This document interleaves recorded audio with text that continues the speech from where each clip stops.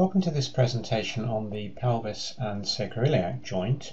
I'm going to start by looking at some basic principles of anatomy, really as a foundation for our further work. The diagram on the right is a model skeleton and that on the left an x-ray of the pelvis. Now when we look closely at the model we can see that this is the lumbar spine, the lower part of the spine. This triangular area is the sacrum itself with a small tailbone, the coccyx on the base here. These are the two wings of the pelvis and these wings are called the iliac bones. As a consequence, the sacroiliac joint is the junction between the sacrum and the iliac bone. If we look at the X-ray, firstly we must remember that on an X-ray the denser and heavier bones are, the easier it is to see them. So we're looking at the sacrum here, although it's triangular, the lower part is thinner so it appears fainter on the X-ray and just at the base here we can see the coccyx bone. To the side we have the ball and socket which is the hip joint. This curved area is the iliac bone we talked about from the sacrum. And so this thin line is the junction, the sacroiliac joint. Looking at the bones in more detail, here is our sacroiliac joint, abbreviated to SIJ. This is the sacrum and we can start to see now that it actually is a number of bones fused together. So whereas the lumbar spine has these little points, the spinous processes, in the sacrum they're said to be rudimentary spinous processes. This is our tailbone, the coccyx. This is our sacroiliac joint with the rim of the pelvis, the ilium coming around here. These are the sockets of the hip joint called the acetabulum. These two are the sitting bones, the ischial tuberosities. And then we're looking at the front of the pelvis here through to the front, and this is the pubic symphysis, which is the junction of the pelvis at the front. If we spin the pelvis round, we can see that pubic symphysis at the front the base of these U-shaped bones, this is the ischial tuberosity, the sitting bone. We can now see the cup of the hip joint more readily. This is our curved area that we saw on the x-ray, the sacroiliac joint, and these are the front parts of the lumbar vertebrae. So these are the bodies of the lumbar vertebrae. We spin the model round again now what we'll do is put on the overlying muscle. So to start with, the grey areas are the ligaments. So the ligaments stretch across the sacroiliac joint. This particular triangular ligament here attaches from the ischial tuberosity to the sacrum. So we call it the sacrotuberous ligament. On this side, it's partially covered by the multifidus muscle. Now there are multifidi on both sides of the spine and they broaden out towards the base to form this triangular thick area called the multifidus triangle. Beneath the sacroiliac joint and beneath the sacrotuberous ligament lying under it we have the piriformis muscle and the piriformis muscle is important for back conditions because between it and the sacrotuberous ligament we have the sciatic nerve and sometimes the sciatic nerve can be trapped in that area. From the rim of the pelvis here coming up to the lower ribs that we can just see peeking out the top of the diagram we have the quadratus lumborum muscle. Putting on another layer of muscles what we have here then is the quadratus lumborum muscle that we just mentioned, but it is, it is now covered by the erector spinae muscles, and these are the superficial ones that you can touch. So the rim of the pelvis here is um, hidden by the connection of the erector spinae. And this red part of the muscle is what we call the muscle belly, and it comes down and becomes fibrous as it attaches into the bone. We can see that these muscles, which have been stripped out on the left side, actually cover all of the lumbar vertebrae. So we're seeing the lumbar bodies here, and we're seeing the transverse processes here and then as we go up further we can see the ends of the ribs are covered by the muscles. Now that's all well and good from the point of view of theory but in the clinic we don't have the facility to peel the skin off we feel with our hands so the important thing is what we can feel by touching or officially the title would be palpation. So we can see what's known as the most superficial parts of the bone, the superficial bony landmarks. So we're seeing here the tips of the spinous processes and we'll be able to feel those just above and below the waistband. We can feel the iliac crest on this side and then this crest comes round and finishes at a point of bone called the posterior superior iliac spine. So it's on the back of the body, so it's called posterior. It's at the top of the sacrum, so it's called superior, and then it's called the iliac because it is associated with the iliac bone, and spine because it's pointed. The base here we've got the tip of the coccyx bone, the tailbone, which comes just above the buttock crease and then further down we have the sitting bone, the ischial tuberosity, which will be on either side and then if we take the buttock crease round to the side we will be able to feel the greater trochanter which is a thick knobble of bone which we often feel if we lie on our sides on a firm surface. Let's look now at the side and we can see the sacroiliac joint in a little more detail. So this is the sacrum in side view and now we can see these rudimentary spinous processes of the sacrum that we call the spinous tubercles. On the edge of the sacrum, we have a triangular area, that is half of the sacroiliac joint, and that matches with a similar triangular area on the wing of the pelvis, on the iliac bone. So here, this is our ischial tuberosity. This is half of the pubic symphysis, the joint at the front of the body, and these two flat shape bones form our sacroiliac joint.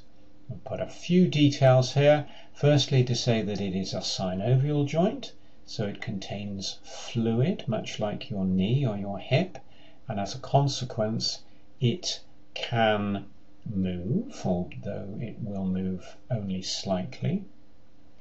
The cartilage is fairly thick, giving the joint a little spring, but also meaning that the joint is fairly firmly fixed unless we soften that cartilage, and that's exactly what will happen to the fibrous um, tissues and the ligaments during pregnancy. And the capsule itself, the bag which surrounds the joint, is thickened into a thick ligament, and again that will soften during pregnancy.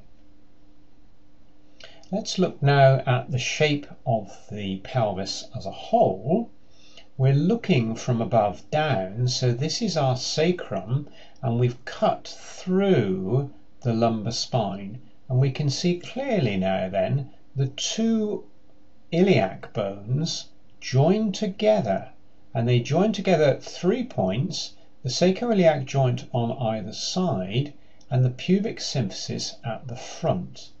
So any movement or any disruption which happens to the pubic symphysis will happen to the sacroiliac joints, And similarly, anything which happens to the sacroiliac joint will happen to the pubic symphysis. Now, because of the requirements of childbirth and the need for the baby to pass through the pelvis, the pelvis of the female is wider than that of the male. However, there are variations between individuals in the sexes. So some individuals naturally have a more narrow pelvis. So you may have a girl with a particularly narrow pelvis, for example. Equally, some individuals have a particularly wide pelvis. So you may have a man with a wider pelvis. So there are pelvic changes between the sexes, but there are also pelvic changes or variations within the sexes themselves. Now the shape of the pelvis is important but also the orientation of the pelvis, how the pelvis sits in terms of pelvic tilt, which we will look at later. And this will be affected by posture and it will be affected by the way that the person moves, the so-called movement pattern. In addition to changes in the way that an individual moves, there are also changes in the bony formation in this area. So as many as 30% of individuals may have what's known as an accessory articulation. In other words, uh, an additional joint. So if we look here, this is the last lumbar vertebrae, what we call L5. And at the side, we have this small wing, which is the transverse process. It comes quite close to the back of the sacrum, the posterior superior iliac spine that we mentioned earlier. And in some individuals, this can actually form a joint. Now, that may be a movable joint, or it may be a joint which has become less movable and very stiff, or completely fixed.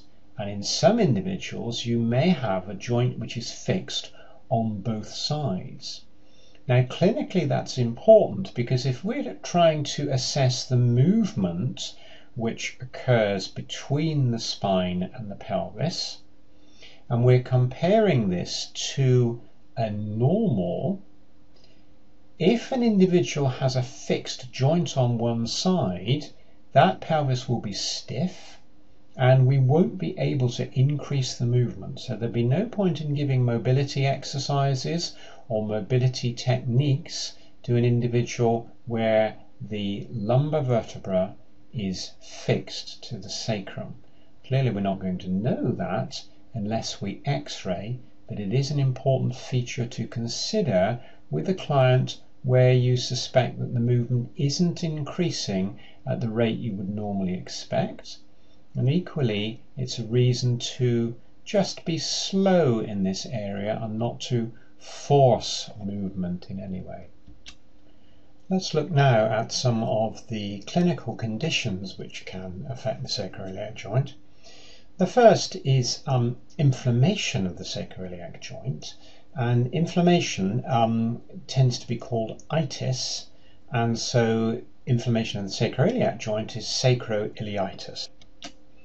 This can occur, um, as with most things um, affecting the sacroiliac joint and pelvis, um, after pregnancy, but it can also occur in conditions where a person has fallen onto their backside, perhaps in skiing or skateboarding, somebody who has um, been sitting for a long time in a very firm seat, uh, somebody who slipped on the ice and skated on their on on their bottom in the winter. So sacroiliitis, inflammation of the sacroiliac joint, tends to be made worse by prolonged standing where you're favouring one hip and um, predominantly placing the weight on one leg. Prolonged sitting, particularly on a firm surface, so you may have um, a small amount of pain which gets considerably worse if you've been sitting in a restaurant or in the cinema, for example. Second thing that we can see is excessive movement of the joint. We mentioned briefly that the sacroiliac joint will move during childbirth.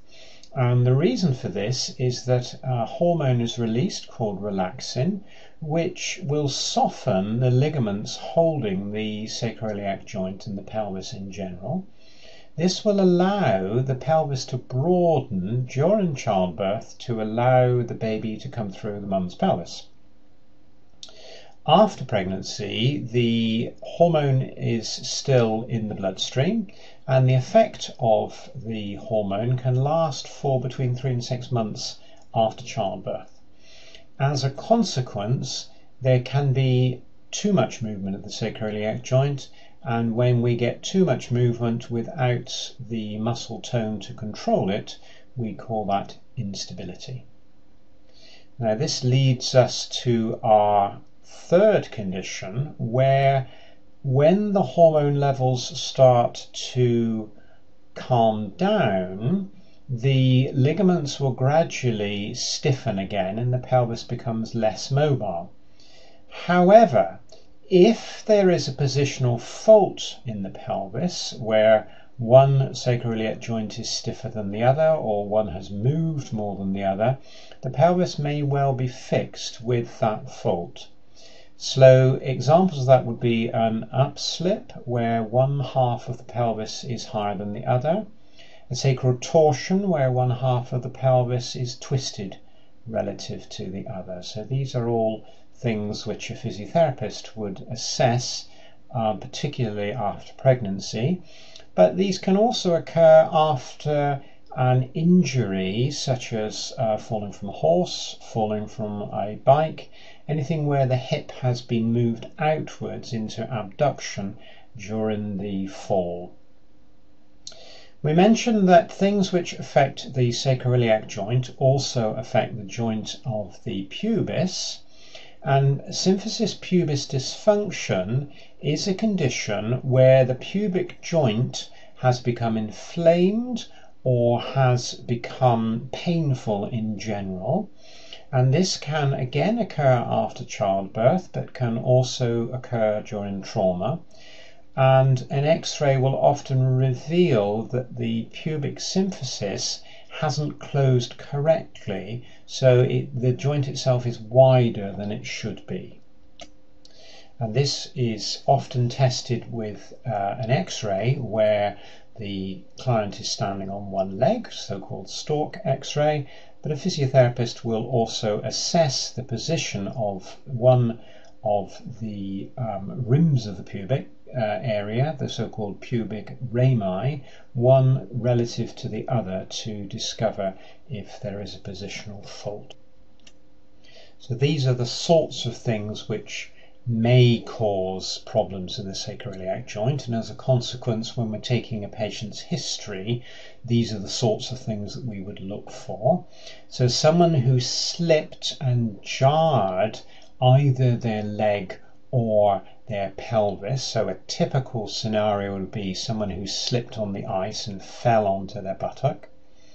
Someone who jarred their leg, say they're out walking their dog and they um, stepped off the curb and they missed the curve, or they were walking downstairs and they missed the lower step and they came down heavily onto one heel. Someone who slept awkwardly, um, as we lie on the side, the top leg tends to move forwards and down, which twists the pelvis. And if we have a particularly soft mattress or if we slept awkwardly for some reason, that can put stress onto the pelvis. Where there's been prolonged standing or sitting, um, when I say prolonged, that would be something which is unusual for that particular individual. So, someone, for example, who works in an office and they've been asked to stand on the uh, you know, at a trade show or something for four or five hours, they're not used to that. Their pelvis isn't used to that, and so as a consequence, it can it can complain. Childbirth is the big, big thing um, that causes pelvic problems, and lifting again um, something which is um, unfamiliar to an individual. So, someone who suddenly starts to join a gym, for example, and they're lifting a weight that they're not normally used to, that can cause problems. So your client may complain of any of these, but often they will not uh, recollect what's happened to them. So these are the sorts of things that they may feel. So pain to one side of the lower back moving into the buttock and often traveling to the front. So they may say, well, I have pain in my hip. And when you look at it, it's actually pain from the back referred into the hip, so pain traveling forwards. They may feel pain in the leg or just in the groin area. Both of those pains can be made worse by prolonged sitting and standing, particularly where somebody is slouch standing, um, so called sway back posture, where they're standing and favoring one leg. Pain will often be made worse where the knees are apart, so the hips are abducted. So typically somebody who's sitting on a seat um, in a pair of jeans and their knees are apart, say in the pub, something like this, when they come to um, to stand up, they may find that they've got problems. And often individuals, particularly with sacroiliac instability, are rather embarrassed and they sort of say, Well, my pelvis feels as though it's going to fall apart. And they've often identified to themselves that if they wear tighter clothing or a, um, a, pair of trousers with a tighter waistband or a tight belt, sometimes this makes it feel better. It's almost as though it, it's pulling them together again.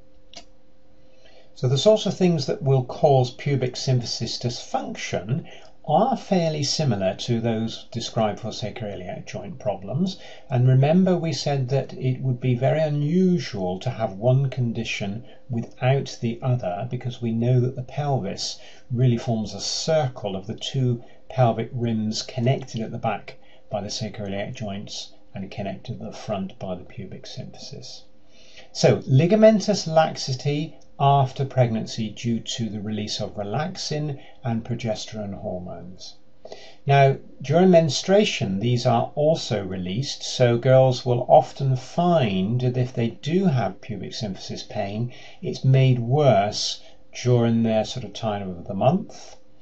It can also be affected by the contraceptive pill you may get changes in the way that a person actually feels pain. So this is something which is quite unfamiliar. You know, if you've had a muscle tear or a knee pain, you know what's happening.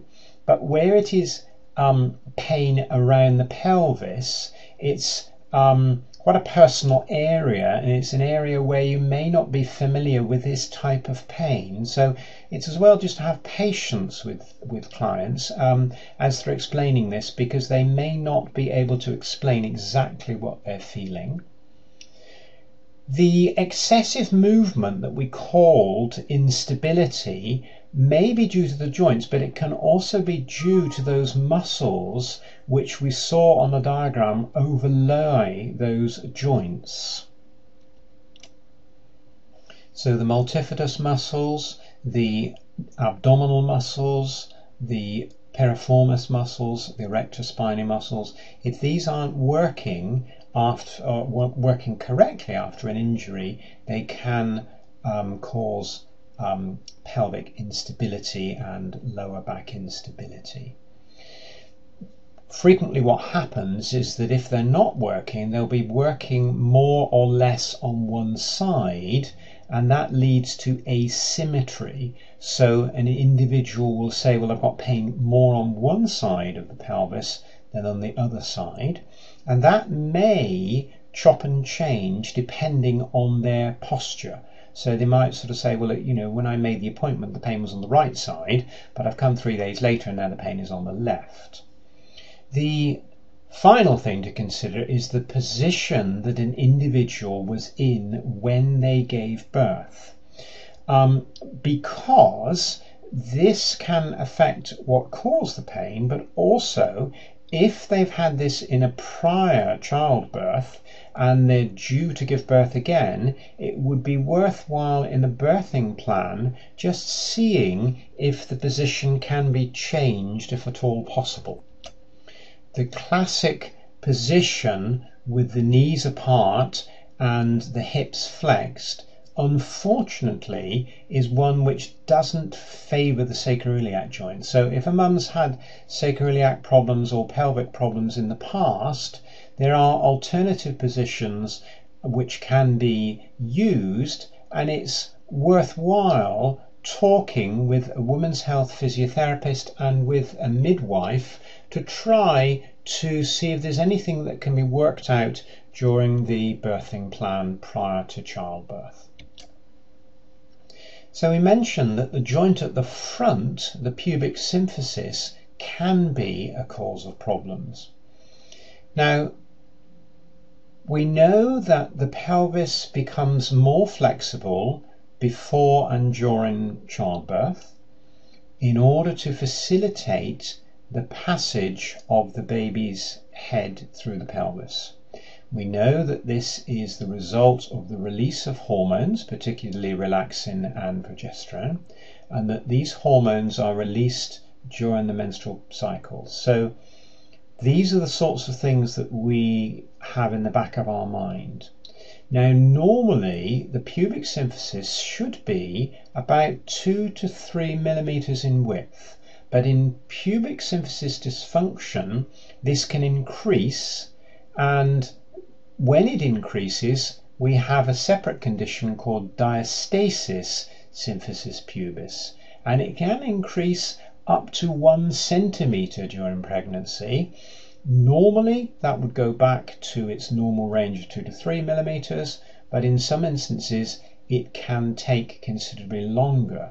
So, in terms of normal values, we would want to see the pubic symphysis reducing down below one centimeter in width after about three to five months.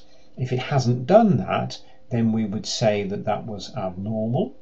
What is more important is asymmetry. So where one side of the pubic symphysis is higher than the other, as assessed by a physio, um, that becomes important and both the width of the pubic symphysis and asymmetry of the pubic symphysis can be assessed by x-ray but that instability can be missed if the x-ray isn't taken with the client standing on one leg, the so-called flamingo or stork x-ray.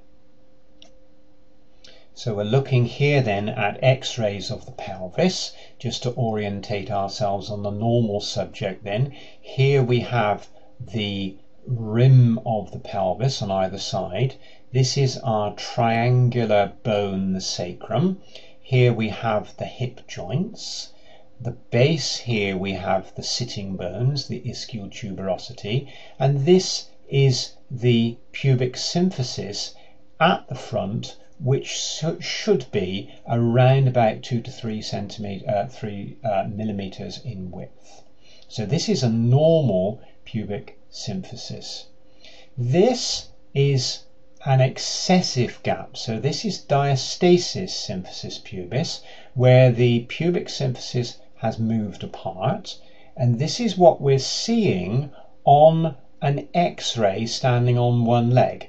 So this person stands on this leg, this one is slightly higher up, and you can see that the gap has increased, tipped slightly, and this side is significantly higher than this one. So we've got a combination of an excessive gap, the asymmetry, because one has moved higher than the other, and the fact that it is able to move, so the instability. So this person will have pain, but they'll also have considerable loss of function when they're standing on one leg, either standing for a prolonged period or when walking, particularly when coming downstairs where they're taking their weight on one leg, trying to control their body weight as it lowers down. So in the clinic, we would assess this with a variety of different tests. No one test will give us all the information, but the information we gain from a number of tests together becomes very, very accurate. So our subject is lying on one side and what we're doing here is compressing. So the therapist is pressing through the rim of the pelvis. The pelvis is pressing on a firm surface on the other side and so any give between those two pressures is a result of the sacroiliac joint. So by pushing on the pelvic rim, we're stretching the ligaments which control and limit the movement of the sacroiliac joint itself. What we're doing here then is a similar thing. So this is a gapping test. So by placing one arm across the other, as the therapist pushes down, the movement goes in a V shape and that will cause the sacroiliac joint to move apart. If the therapist had been putting their hands normally, then they could press down and they would mimic the compression test that we did. So where we push the pelvic rims together, that would be compression. Where we cross the hands and push them apart, that is gapping. So what we're seeing here then is gapping of the sacroiliac joint and it's particularly those ligaments at the front of the joint which tends to be affected. What we're doing here is what's known as a P4 test. P4 standing for posterior pelvic pain provocation. So we're looking at pain in the back of the pelvis and what we're doing is compressing through the thigh bone, through the femur, and on a firm surface we press onto the, the um, ischial tuberosity and the sacrum, push onto the surface and any give is in the sacroiliac joint. So the pressure has to be directly through the joint and we get a shearing stress onto the sacroiliac joint. Now this test wouldn't be appropriate in an individual who had hip pain or a hip uh, condition or a hip, um, as we would officially say, a hip pathology. It would only be um, useful on uh, someone with a healthy hip um, or an athlete. This is the Faber test, and Faber stands for flexion, abduction, and external rotation. So the hip joint here is moved upwards outwards and twisted. So the hand here stabilizes the pelvis. The hand here has used the femur, the thigh bone, as a lever. So the, the foot is on the thigh to stop the um, the leg from dangling. The, but we could also put the foot um, on the couch or um, on a small block on, on the couch. Uh, again, this particular test would only be relevant to somebody who doesn't have a hip pathology. But what's happening here is we're pressing down, causing a shearing stress onto both the hip and the sacroiliac joint itself.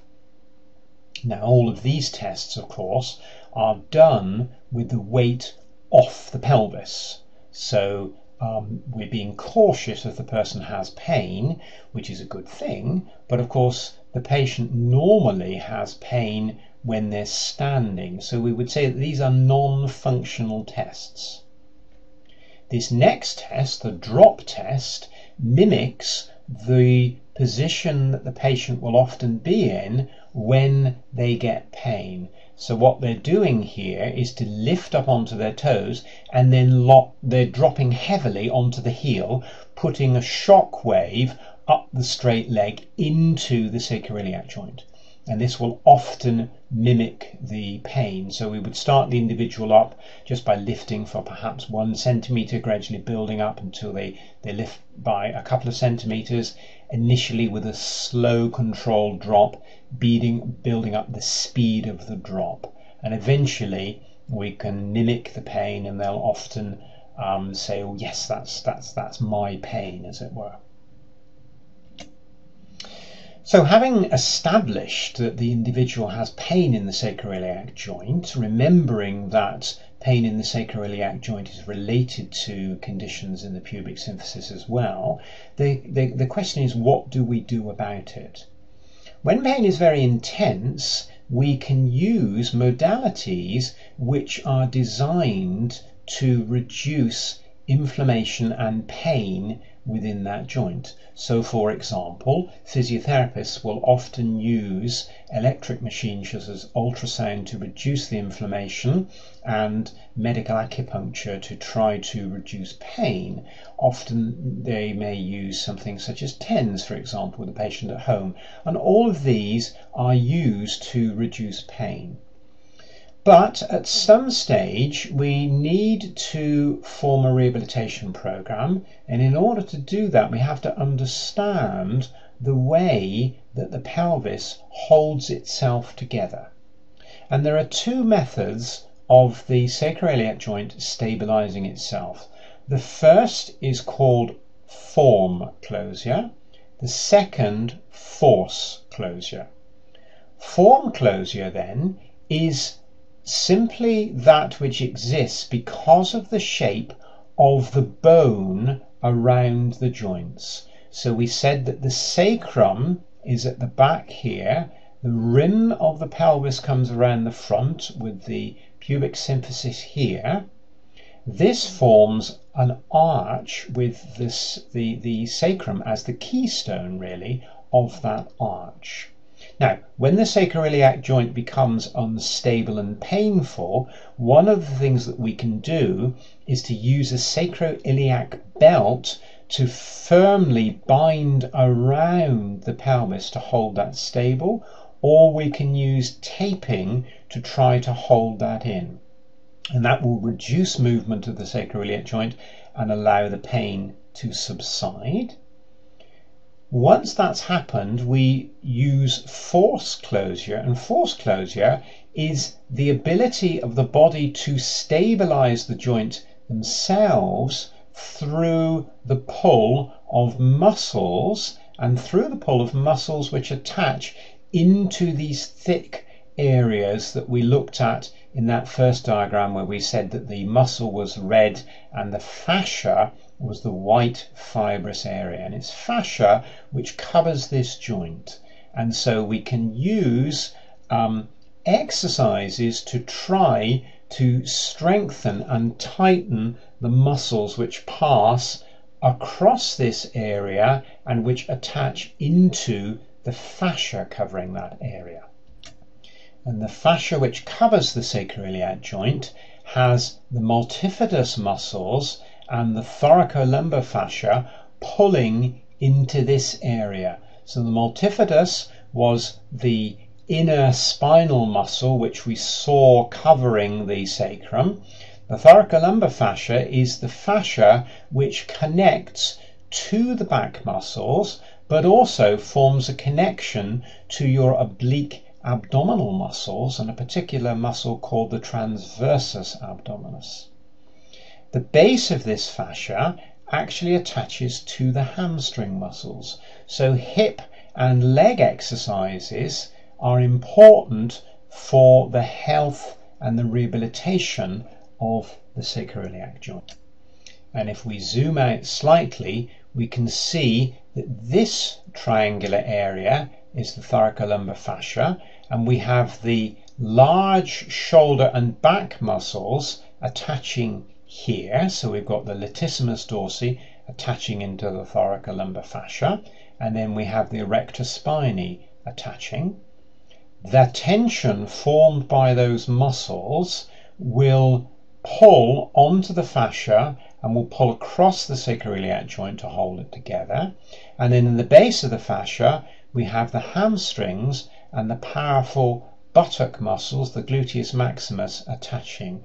So these will pull onto the fascia and help to create force over the sacroiliac joint and to stabilize it. And then finally, from the front, we have muscles which attach, which will stabilize both the sacroiliac joint and the pubic symphysis. So we have the oblique abdominals and we have the muscles which draw the knees together, the adductor muscles, and a small deep hip muscle called the gluteus medius. And these are important for stability of the joint, particularly when an individual is standing on one leg. And finally, then, we have perhaps the most important system, and this involves intra abdominal pressure. In intra abdominal pressure, normally called the abdominal balloon, is a pressure which exists in the abdomen through contraction of the deep abdominal muscles. So the transversus abdominis muscle, particularly, and the internal oblique muscle will contract and they will form a cylinder which is formed by the diaphragm muscle at the top, the pelvic floor muscles at the base, and the abdominal muscles which surround the drum. And rehabilitation of this mechanism, so called core stability, is vital for the health of the lumbar spine, the pelvis, and the sacroiliac joint. Now, we've mentioned pregnancy as a cause of problems. We've mentioned falling, particularly onto the backside or onto one heel and jarring the leg. The other thing which is important to this mechanism is if these muscles have been cut. So if there's been spinal surgery or if there's been a hernia or where there is obesity. So let's look at how we can use these muscles during rehabilitation and focus on core stability training for a while. One of the first things that we have to appreciate is that the abdominal muscles can broadly be categorized as two groups. When we see an individual go into the gym and perform sit up exercises or do um, movements with weights or movements uh, in an aerobics class, on the whole, they're using their abdominal muscles to create movement. And that tends to emphasize the superficial muscles, the so called washboard muscles uh, at the front of the abdomen. Now, that's not a problem, but what we're interested in is to stabilize the pelvis and the lower spine. And in order to do that, we want to use these muscles not to create movement, but to prevent unnecessary movement. So core stability uses the deeper abdominal muscles, the so-called dynamic corset muscles, rather than the washboard muscles. Both sets of muscles are important to spinal health, but during these early stages of rehabilitation, we want to emphasize the dynamic corset muscles because these are the ones which will stabilize the pelvis and as a consequence, they will reduce our client's pain. So what we need to do is to teach our clients how to recruit these muscles, how to switch these muscles on, and we do that using an exercise which mimics the abdominal balloon technique that we mentioned. And briefly, what we would do is to contract the pelvic floor muscles as though we're trying to stop water, passing water. Then at the same time, we draw the tummy button inwards as though we were trying to pull the abdomen away from the waistband of the trousers while breathing normally. And we call that an abdominal hollowing action. Once we've built that up and re educated that, we then use that as our stable base and start to move the legs or arms. So in this diagram, where our client is performing a classic exercise called a heel slide. So they're lying on their back, so the, the back is supported because that's the area which is which is painful. They're monitoring the curve of the uh, the um, lower back, the lumbar lordosis, using a little machine called a pressure biofeedback. What they're then doing is moving their legs while at the same time trying to stop the pelvis from tilting and the spine from moving. So we're trying to maintain that position as the legs move, and in this case the heels are sliding away from the body and sliding back onto the body. Because these muscles work over a period of time, rather than performing a great number of them, so-called high repetition exercises, we would perform just a few but hold them for a long time. So we might perform 10 repetitions holding each repetition for 10 seconds, for example. And for core stability exercises, we would choose a position that is comfortable for our client. And there are a number which we can choose.